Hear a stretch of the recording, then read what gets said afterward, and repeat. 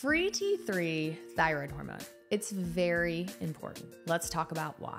Endocrine Society guidelines say check TSH levels. This is how you diagnose and you treat and you monitor patients with hypothyroidism. However, there's been tons of articles published on the fact that intracellular and free T3 levels do not always correlate with TSH levels, and that free T3 levels are what actually make people feel better and make your thyroid hormone work. So, when you make thyroid hormone, TSH is a signal that's sent from your brain to your thyroid to tell your thyroid, please make thyroid hormone. Our thyroid makes mostly free T4.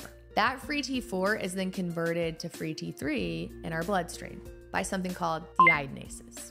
The free T3 is what's actually important in the active thyroid hormone that makes you feel better. When you treat hypothyroidism, most providers are taught to give patients T4 containing compounds. What is a T4 containing compound? It's levothyroxine, it's Unithroid, it's synthroid, tirosint.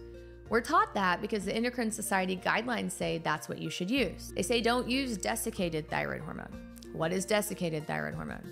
It's NP, it's Armour, Nature. It's all of these medications that have more T3 than T4. So, why do the guidelines say this? Well, the guidelines say this because they don't believe that free T3 levels actually matter. However, there are tons of studies that show they do. So, hypothyroid patients, if you blind them and you give them a T4 containing medication, and then you switch them over to a T3 containing medication, and vice versa. You give them a T3 containing medication and then switch them to a T4. 78% of those people are gonna tell you they feel better on the T3 containing medication, not knowing what they're taking. So, that in itself will tell you that those guidelines and recommendations are probably a little off. So, T3 is important and it does matter. If you like this information, make sure that you follow, like, subscribe, share this with your friends, and just know a course is coming, and so is my podcast shortly.